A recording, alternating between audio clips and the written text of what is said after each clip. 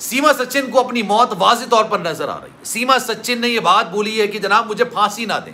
क्या वाकई में उनको फांसी की सजा सुनाई जा रही है? क्या वाकई में उनको मौत की सजा सुनाई जा रही है? क्योंकि अब कुछ चीज़ें हैं जो वाज हो चुकी हैं।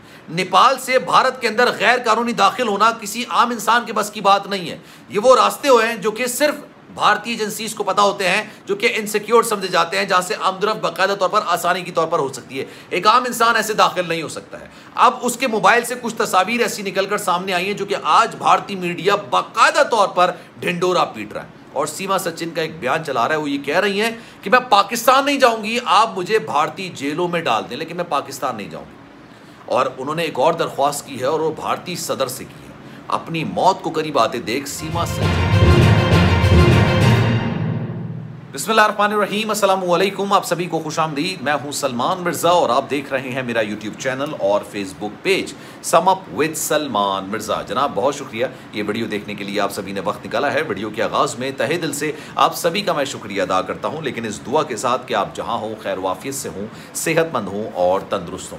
जनाब, सीमा हैदर या फिर सीमा सचिन जिन्होंने सीमा तो लांग दी, लेकिन अब बहुत बड़ी मुश्किल में फंस चुकी हैं। उनको बाकायदा तौर पर मौत की सजा सुनाई जा रही है। उनको फांसी देने की तैयारी मुकम्मल कर ली गई है और उनकी कुछ तस्वीर निकलकर सामने आई हैं और एक बयान है जो कि भारतीय मीडिया सीमा सचिन के नाम से मंसूब करके इस बयान को चला रहा और बयान कुछ इस तरह का है कि जनाब, मैं पाकिस्तान जाने के बजाय भारतीय जेल जाना प्रेफर करूँ उन्होंने बात बोली है कि जनाब, अब तो ये बात सबको पता है ना कि जनाब पाकिस्तान से वो किन किन रास्तों से होती हुई भारत पहुँची है। गैर कानूनी तौर पर नेपाल से वो भारत के अंदर पहुँची थी, लेकिन उन्होंने ये बात बोली है कि मुझे पाकिस्तान जाने के बजाय मैं प्रेफर करूँगी कि मुझे भारतीय जेलों में कैद कर दिया जाए। उनकी कुछ तस्वीर निकल कर सामने आई हैं और ये तस्वीर उस वक्त की हैं जब सीमा सचिन और सचिन ने बाकायदा तौर पर हिंदू मजहबी रस्म व रिवाज के तहत शादी की थी।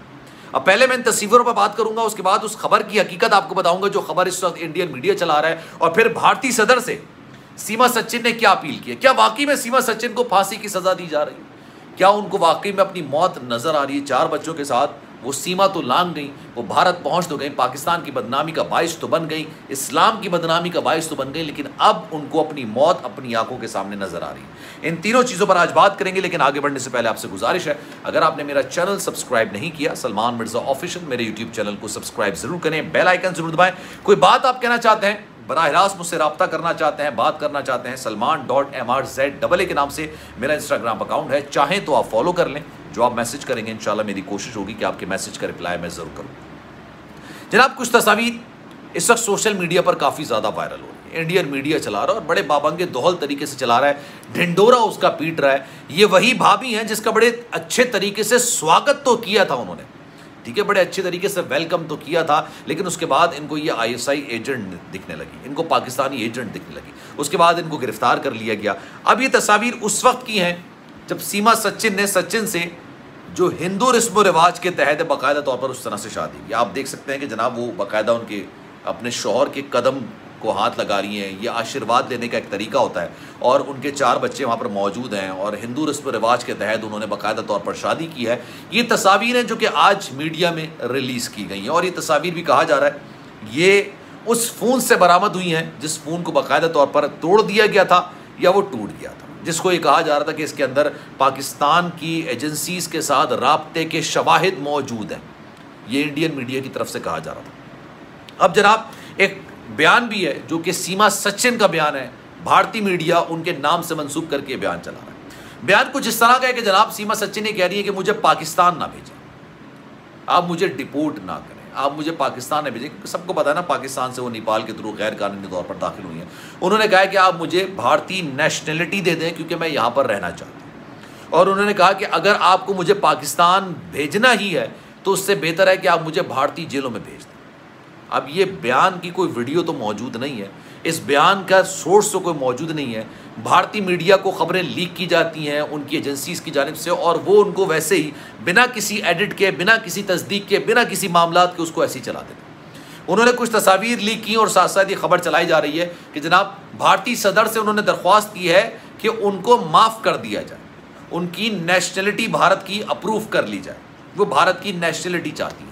ये सीमा सचिन बयान दे रही हैं, जो कि चार बच्चों के साथ तीस साल की उम्र में बाकायदा तौर पर भारत गई हैं और नेपाल से गैर कानूनी तौर पर गई ये वही सीमा सचिन है, जब ये भारत पहुँची थी तो आधा मीडिया ढिंडोरे पीट रहा था, खुशियाँ मना रहा था कि शायद इनके घर में जैसे बहुत अरसे बाद शादी हुई हो। पाकिस्तानी को हमने हिंदुस्तानी में कन्वर्ट कर दिया है। एक मुसलमान को हमने हिंदू में कन्वर्ट कर दिया है। चार बच्चों से जय श्री राम के नारे लगवा दिए। बड़ा, बहुत बड़ा कारनामा सर अंजाम दे दिया इन्होंने। तो उसके बाद जनाब, आधा इंडियन मीडिया ढिंडोरा पीट रहा था और आधा इंडियन मीडिया इसको पाकिस्तानी एजेंट करार दे रहा कह रहा था, भाई तो आई एजेंट है।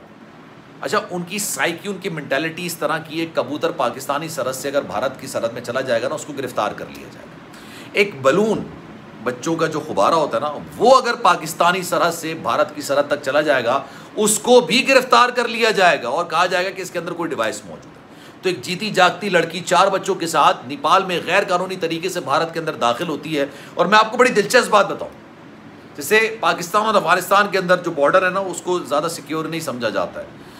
बाकायदा दहशत गर्दों की आमदरफ्त हो जाती है, भारत, अफ़गानिस्तान से दहशत गर्द पाकिस्तान आते हैं दहशत गर्दी की कार्रवाई करते हैं। इसी तरीके से नेपाल का और भारत का बॉर्डर भारतीय एजेंसियाँ उनको बाकायदा तौर पर इस्तेमाल करती हैं, जिनको भारत के अंदर लाना होता है, और ये प्रिटेंड करना होता है, देखें, हमारे घर के अंदर आके दहशत गर्दी की कोशिश की जा रही है तो वो नेपाल और भारत का रास्ता इस्तेमाल किया जाता है। अब मुझे बड़ी हैरत हुई कि एक आम इंसान को वो रास्ते नहीं पता होते हैं, जिन रास्तों से आप वहाँ की बॉर्डर फोर्सेस से बचते हुए आप भारत के अंदर दाखिल हो जाओ। लेकिन खैर, सीमा सचिन तो दाखिल तो हो अब क्या उनको वाकई में अपनी मौत नज़र आ रही है? क्योंकि ये कहा जा रहा है कि या तो उनको पाकिस्तान बेदखल कर दिया जाएगा, उनको डिपोर्ट कर दिया जाएगा, या उनको मौत की सज़ा सुना दी जाएगी। अब उन्होंने ये बयान दिया है, अब वो दिया है बयान, या उनसे दिलवाया गया है, या अपनी तरफ़ से बयान दिया? इसकी हकीकत को कोई नहीं मानता मतलब कोई नहीं जानता कि यार इसमें हकीकत क्या, वो ये बात बोल रही है। सीमा सचिन ये कह रही कि मुझे पाकिस्तान जाने के बजाय आप भारतीय जेलों में कैद कर दें। मैं भारतीय सदर से ये इल्तजा करती हूँ, दरख्वास्त करती हूँ कि जनाब, आप मुझे भारत की नेशनलिटी दे दें, क्योंकि मैं तमाम कश्तियाँ जलाकर यहाँ पर आई मैं पाकिस्तान नहीं जाना चाहती, मैं भारतीय जेलों में रह लूँगी, लेकिन पाकिस्तान में नहीं रहूँगी। ये उनका बयान है, जो कि आज इंडियन मीडिया तमाम मामला मणिपुर के अंदर दो खातन को बरहना करके उनको मार्च कराया गया। वहाँ बात कर रहा कोई बात कर रहा है सीमा सचिन के वाले से। अब आप खुद अंदाज़ा लगाइए कि भारत की मीडिया की तरजीहत क्या है? और इस खबर पर आपकी राय क्या है? मैं चाहूँगा कि आप सब कमेंट सेक्शन में भी राय का इजहार ज़रूर करें। सलमान मिर्ज़ा को दीजिए इजाज़त, ज़िंदगी रही, सेहत रही, आपकी दुआ नहीं तो इंशाल्लाह आपसे फिर मुलाकात होगी।